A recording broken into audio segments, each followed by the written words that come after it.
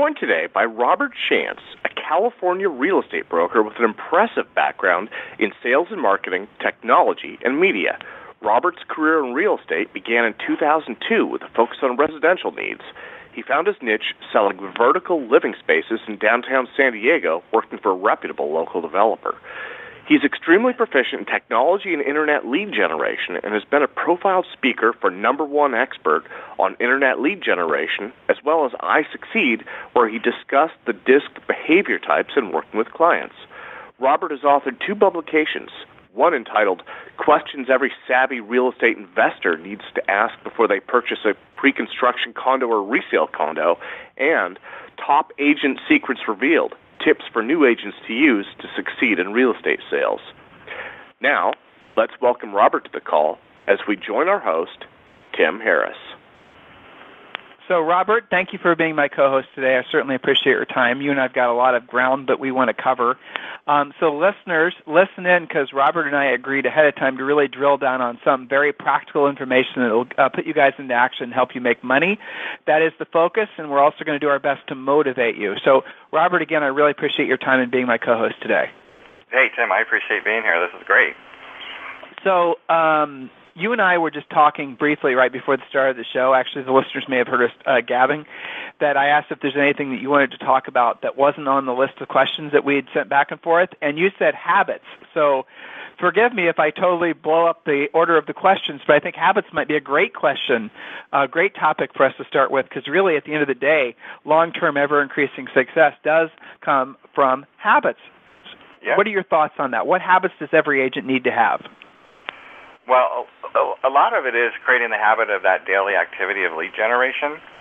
And it's important to know when an, an agent, we don't create our future or success, we create habits. And everything that we get in life is because we create the habit that produces the results that we're looking for. Unfortunately, what happens is people want to fall back into their comfort zone. And when they get out they're doing their lead generation and they decide to take an activity, if they're if they're in that comfort zone, if they're not in their comfort zone, they're feeling uncomfortable with doing what they're doing, they want to go back to that area where I feel safe and secure. And so again, the habits create what we actually want in our life. And if we just focus on each and every day, getting that time block schedule of sitting down for two to three hours and making that lead generation a habit – then everything else falls into place. So what I'm hearing you say is we all have habits. Some of the habits are designed to move us forward. Some of the habits that we might have without even necessarily knowing it are actually impeding our success. Is that what I'm hearing you say? Exactly.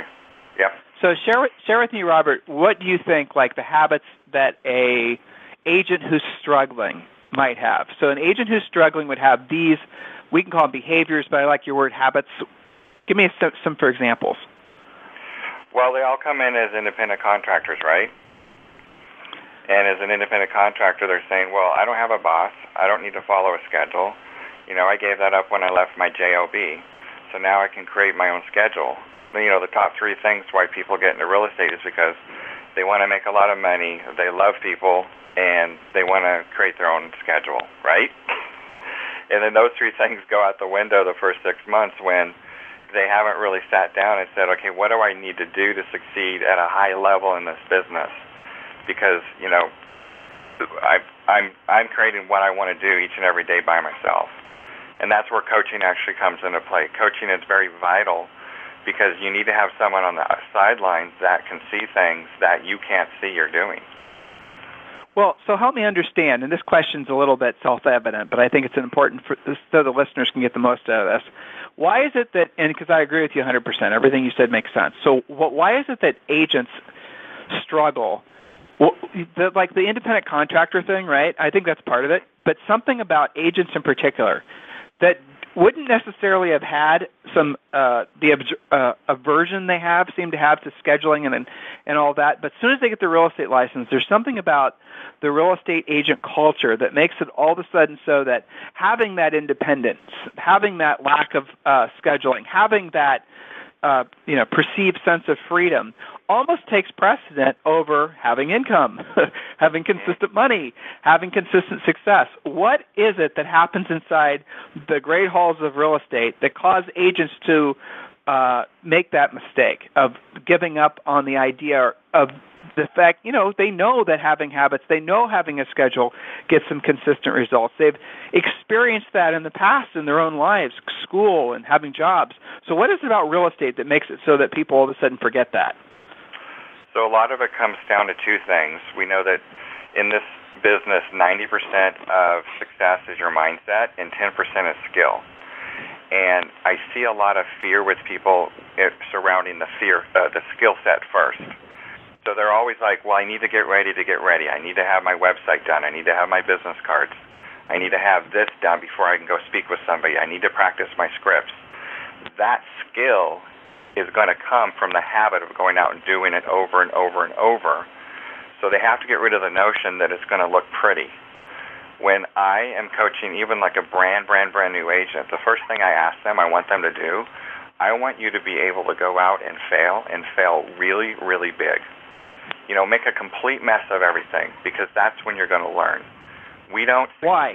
forward. Well, stop there. Forward. Stop there for a second. But why? That's so true, dude. Why is that? That they folks seem to learn quicker from failures than they do successes. Why is that true? because it allows us to stop and reevaluate what did I do wrong.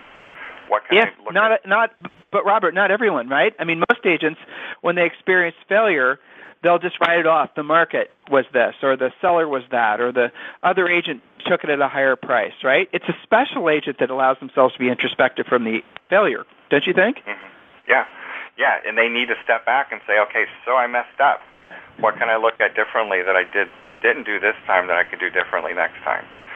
I I see the best agents are the ones that fail every day, and if if I had to kick the person in the butt that screwed up my life more, I wouldn't be able to sit down for a month because I made a lot of mistakes in my life. But I've learned, however, I've learned from them. I, I never learned from my successes because if you just have success, then you're moving into that you know area that like everything's easy. It just comes easy. So I don't need to really work that hard. Does That makes sense. Where does that? How does an it does? And how does that agent develop that willingness in a world that basically only seems to celebrate success, right? How and, and we also live in a blame culture, especially in our industry. It's always you know some extraneous reason why I wasn't successful. Where how does an agent go about developing that? I mean, even that willingness to be introspective and learn from their mistakes. Where does that start? Good question. Um, well, they have to look from within. Um, basically, I, I drill down to where they, what their childhood was like. What were they programmed as a child? What type of support system did they have when they were little growing up? Uh, from parents, brothers, siblings, mothers, whatever. Because it all comes down to what we believe about ourselves um, from a very early, early age. And then really realizing that, you know, this is my life. It doesn't have to be my life um, I can create anything that I want, and being able just to relinquish control and move forward. So it starts with basically, and this is an interesting uh, paradigm shift. But if you guys were to start uh, every time you have any kind of failure, any variety of failure, even if a million people will agree that it was totally not your fault, and I can pick examples. Well, I will pick an example just to make a point. Let's just say you're in a minor fender bender. You're in a minor accident. You know, nothing, no, no one's really hurt. Car needs some body work. That's the extent of it, right? Mm-hmm. Totally not your fault. Somebody backed into you. Police say it wasn't your fault. The other person that hit you, you know, totally took responsibility. So on the surface, you are the victim of this accident, right? Well, yeah. if you take that stance, you're making a huge mistake. The mindset shift comes when you say, you know what, I was responsible for that. How? How were you responsible for that? Well, you put yourself in that parking lot at that particular time. You parked your car in that particular spot. So if you start by saying everything is your responsibility, even if overtly it wasn't, that forces your mind to start opening up to ways that it can improve. Does that resonate with you, Robert? Uh, yeah, and I even go even a little deep, a little deeper because I have the I bring in the spiritual and the um, the uh, law of attraction element into it as well. Everything's happening Mhm. for a reason, and we're a collection and a sum of all of our thoughts. So our thoughts are attracting some of that stuff in our life for us to learn lessons. Well, um, explain more about that. That's obviously something you have passion for. You wouldn't have said it the way you did. So explain what you mean by that. So not Uh, everyone's exposed to the law of attraction, right? Yeah. Yeah. Well, we're all energy, right? I'm energy. You're energy. This phone call is energy. that gets people's desks, their cars, energy, and energy can never be can never die. It just transforms or get it gets better. So when we have a thought, that thought will go out to the world. That will attract a similar thought. It's like successful people hang around successful people, right? Because they all have the same energy. And then you see impoverished people hanging around in the same area for impoverished people because they have that same belief system. So our thoughts create our reality. So we have to look at what our thoughts that we're programming into our mind to figure out what it is that we need to do to so then when we take the actions, we get the right um, output that we're looking for. Kind of like programming a computer. If you have a hard drive in a computer, that's your thought. That's your central core processor. But if you don't have software in it, what's the computer going to do? It's just going to Exactly. sit there and not run. So you have to put in software. So what is Well- the software that you're putting into your your your mind? So let's let's stop there because that's a really valid point, really good point, and it is so true that and this goes back to the whole failure thing, or this goes back to basically taking responsibility. This goes back to the greater topic today of uh, habits, right? So the essence of it is, guys, uh, when you are experiencing a uh, failure, let's just call it what it was. You didn't take a listing, you had something happen in your life. What do you find yourself naturally doing? Are you going and trying to hang out with other people that will celebrate the failure with you in their way of saying, well, that's normal, everybody goes through that? In other words, they're empowering the failure. Do you watch news? Do you read things on the internet? Do you start finding yourself digging the hole deeper when you're already uh, taking, uh, basically experiencing that setback? What you're doing essentially is you're locking in the failure and even maybe making it so you'll have future failures. So going back to the responsibility thing, look at it for what it was, look at it for your opportunity to learn from that particular experience. And then think about the fact that you don't want to attract more of that to you, and then take responsibility for the fact that in some way you attracted whatever that bad experience was to you. That's the hard part of all this, guys when you're wanting to grow interpersonally, Robert says spiritually, and I agree with him. When you're wanting to grow on this plane, you really do have to start with the concept that everything that is in your life, good, bad, or indifferent, you've brought into your life. You've manifested from past thoughts, and most importantly, past um, behaviors. Thoughts by themselves have power, but the behaviors that come as a result, the actions that come as a result of the thoughts, that's what ultimately determines your destiny. So let's let's take a break from this and let's let's venture off into the more practical. Make sense, Robert? Yes. Okay. Well, one, one other thing I want to, want to talk about is setting your goals. When you set your goals, if you don't believe you're worth it, then you can set all the goals in the world, and they probably won't come into reality because you have some inner resistance and inner stories that you're telling yourself that you don't deserve to have something. I just So read a great inner- book on. Yeah, you're you're just talking about something Julie and I were going to talk about in a future radio show. It's a great topic. It's basically the fact that we all set uh, internal upper limits for ourselves, whether we know it or not. Is that what you're talking about right now? Yeah, kind of like your inner resistance. If that's greater than the energy of desire, you're never going to achieve your goal. Okay, that's really a great topic. You know, I was going to talk to you about something else, but let's let's drill down on that. If you're, so I'm going to say again what you just, uh, I think I heard you say. You're saying that basically, if you're, essentially, if the energies that are uh, surrounding the accomplishment of the goal are weaker than, say, for example, your disbelief in your ability to accomplish it or your worthiness of having the particular goal, you'll never do it. So if your beliefs that you won't or the beliefs that you're not worthy of the goal are stronger than your beliefs that you will and that you are worthy of it, you're saying you won't accomplish the goal. Did I hear you right? Yes. And so you have So to how does someone- something. Well, help You them understand. So how does someone identify that? So what you got to do is, let's say you want to get to a certain dollar amount, and this is what what I did. I wanted to get to a certain dollar amount each year in income, and so I picked an item that matched that income goal. And I Mm. went out, and it was a 36 foot Class A motorhome. and this is what I wanted. So I went and looked at it. I test drove it. I got brochures on it, and that equated to the amount of money that I wanted to make. And I brought that picture of that back, and you know what they say: what the mind can believe, it can achieve.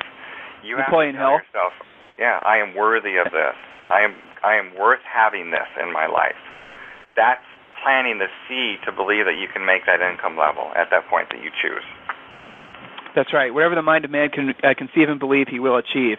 And that's so that you know it's interesting. You bring up the idea of using something like material as you know the motorhome or the car or the house or the ring or the watch or the maybe even the vacation. And you know the interesting thing, guys, is using those external things is often a conflict for a lot of you that haven't really thought about this. I'm going to offer this out to you.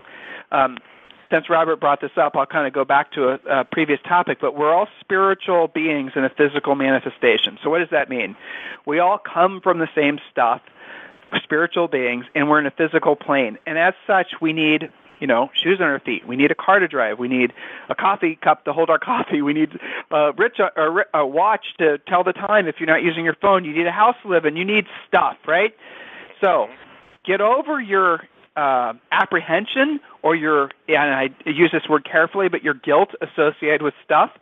Get over your thinking that, okay, well, you know, a Camry is good enough. No, it's not. None of you can just put in a little bit more effort, help a few more people, and buy a Bentley if that's really what sets your heart free and that will motivate you. That's what you should be setting your heart free and focusing on because we're spiritual beings in a physical, uh, you know, manifestation and you need stuff. So it might as well be really nice stuff. it might as well be the nicest stuff that you give yourself permission to enjoy. I mean, guys, don't get all entangled with the idea that you know a Timex is good enough when you want a Rolex. Get a Rolex. It is better. That's the reason it costs more. So, how would they identify within themselves if they were the ones holding themselves back? How do they identify like where they're holding themselves back?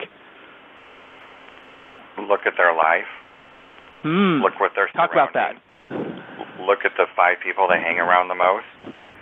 You know, you're sum of the five, closest five people. Estimate all the incomes of those five people and divide it by five. Uh, add them up and divide it by five, and that's probably where your income is.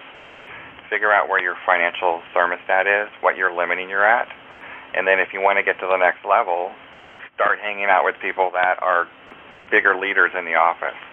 Surround yourself with people that are where you want to be, and then what happens is your energy then becomes matched with their energy. But you first have to take a look, where am I in my life? And where do I want to be? And how am I going to get there? And that, that level will rise once you take the steps of going out. And even if you don't know somebody, find somebody that is very successful in, you know, in some type of field. And they're a, you know, very successful person. You, you've looked at them, you've seen them in the local community, say, I'd love to come out and interview you and find out what it is that you've done, how you've done it, and what your life looks like now. People of that level love to give back, and they would love to share how they got to that level. And that's how you rise up by being around and surrounding yourself with people at that level. Well, they know.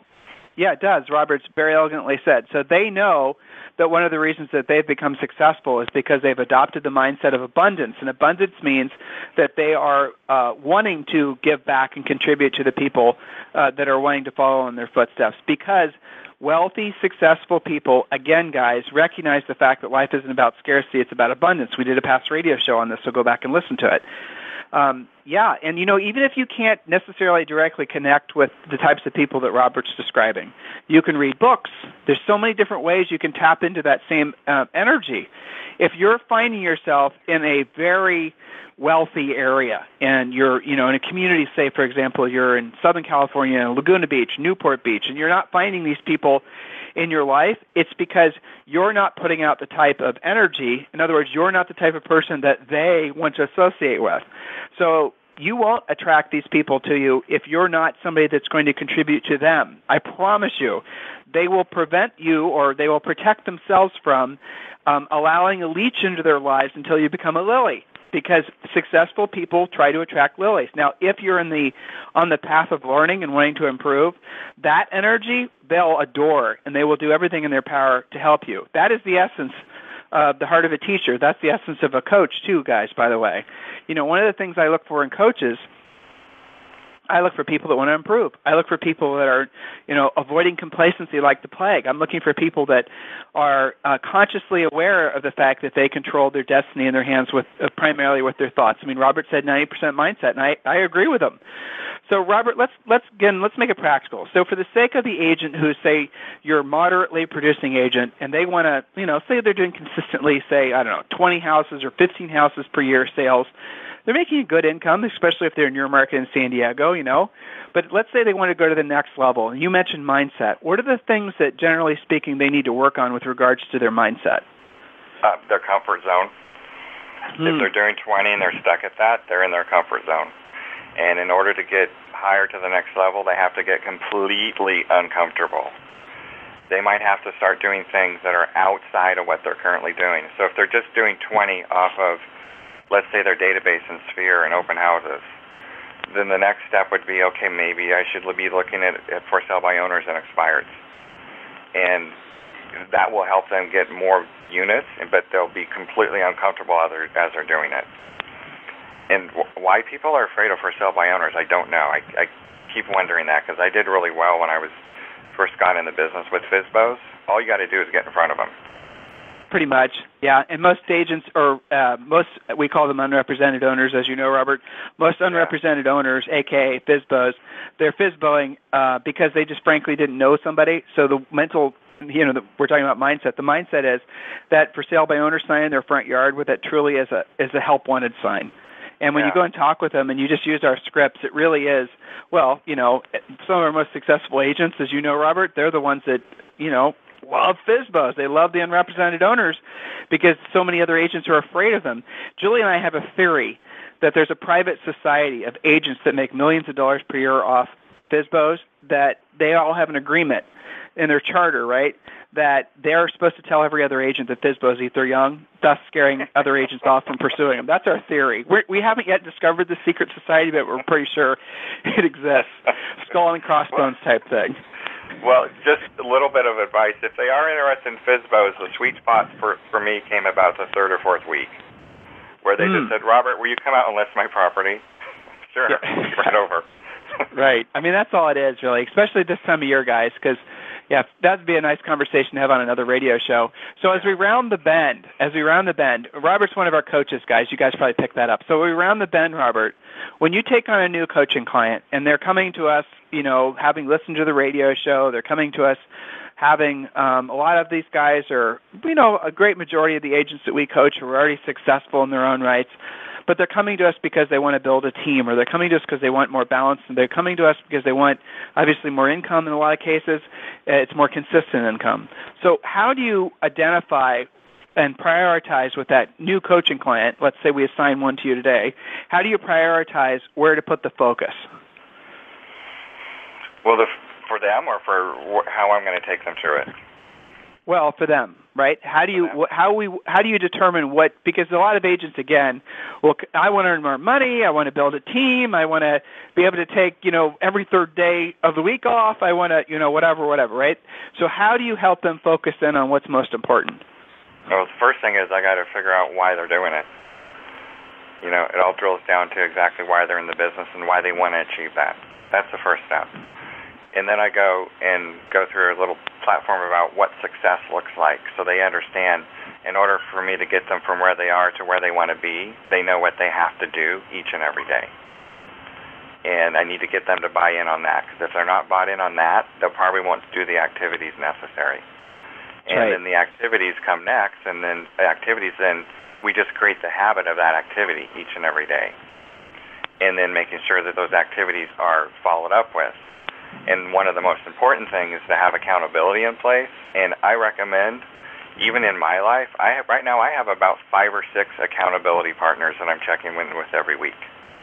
Just because I want to make sure that I'm on track to doing what I'm doing um, in my business. And that helps. That accountability helps because you need something to bounce people off of. Well, that's the whole point. Really, that's one of the main things that people say they're looking for in a coach is external accountability.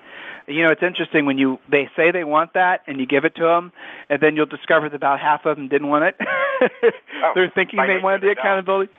Yeah, well, exactly. But you know, it goes back to the whole thing about the culture of real estate. People get into this business, they know that having a disciplined life gets consistent results. They know that from having previous jobs, they know that from having gone to school. I mean, your kids, guys, listeners, your children during the typical school day get more done in one day than most of us do all month. I mean, think about it. They're in this activity for an hour, the bell rings, they go to the next activity, the bell rings, they go to the next activity, they go to the bell rings. So they're having an English class, a gym class, a, you know, all the rest of it. And whereas most agents will just wallow away on their website or writing a blog post or doing Facebook updates or doing, you know, a mediocre job at lead follow up. In other words, because you don't have that uh, accepted habit of having a schedule of having minimum standards for yourself every day, you get very wishy-washy, inconsistent results. Uh, and the other thing we really will focus in on is a lot of you guys have really fallen into the habit of not having cash flow but having cash spurts. And nothing's going to ruin the spirit. Nothing's going to ruin your sense of really independence, freedom, and confidence more than worrying about money.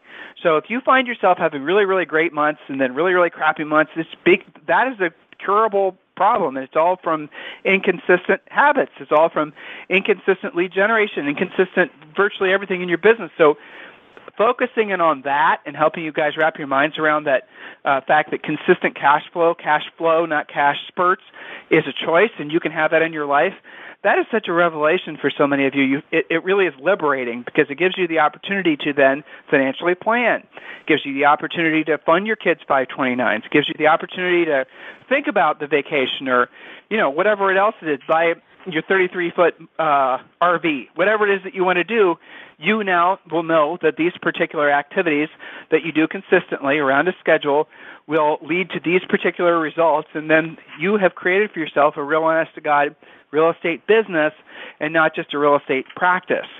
So listen, listeners, anything we can do for you at any time, I want you to remember we are here. Free coaching calls for agents.com. Couple reminders. When you request a free coaching call at freecoachingcallsforagents.com, Robert touched on the great quote, uh, whatever the mind of man can conceive and believe he will achieve. That's from the book by Napoleon Hill called Think and Grow Rich. We're going to give you, when you request a free coaching call at freecoachingcallsforagents.com, we're going to give you a free copy of that book along with our other book, Real Estate Treasure Map. Um, you know, guys, that's exactly what a lot of you are looking for. You're looking for a lot of the mindset and motivation. You're looking for a business plan. That's what those two things will do. Along with that, you'll get a free coaching call at freecoachingcallsforagents.com. So, Robert, as we round the bend on today's radio show, anything else you'd like to say to the up to 100,000 people that listen to our regular our radio show on a regular basis? Yes, the reason why people don't want to do coaching is because they are they want to stay in their comfort zone. So you've got to get out of that comfort zone. It's an inside out job you've got to work internally to have the stuff that you want in your life. Yeah, I think I don't. I won't even try to top that. Very well said. So, Robert, thank you very much for my co uh, being my co-host today. Listeners, please remember. I'm sorry. It's been fun. I love this. oh, good. Oh, you're very good. Uh, you made me work too hard. This was a little bit too intense. I like a little fluffier. you made me think the whole time. I didn't even have a chance to drink any of my coffee, damn it. so, Robert, thank you very much for being my co host on the radio show today. Um, you guys remember our title sponsors for the radio show, mojosells.com, mojosells.com. We have another title sponsor coming on tomorrow, and of course, 800homehotline.com. You guys definitely want to check out mojosells.com. Robert and I talked a lot about accountability. We talked a lot about having a business system. We talked a lot about, um, you know, really basically finally taking responsibility. MojoSells.com helps you do all that. It's one of the basic building blocks that everyone should have in their real estate practice. Definitely check out those guys. And of course, 1-800-HOME-HOTLINE.com. Robert, thank you and have a fantastic day. Listeners, we'll talk with you on the radio tomorrow.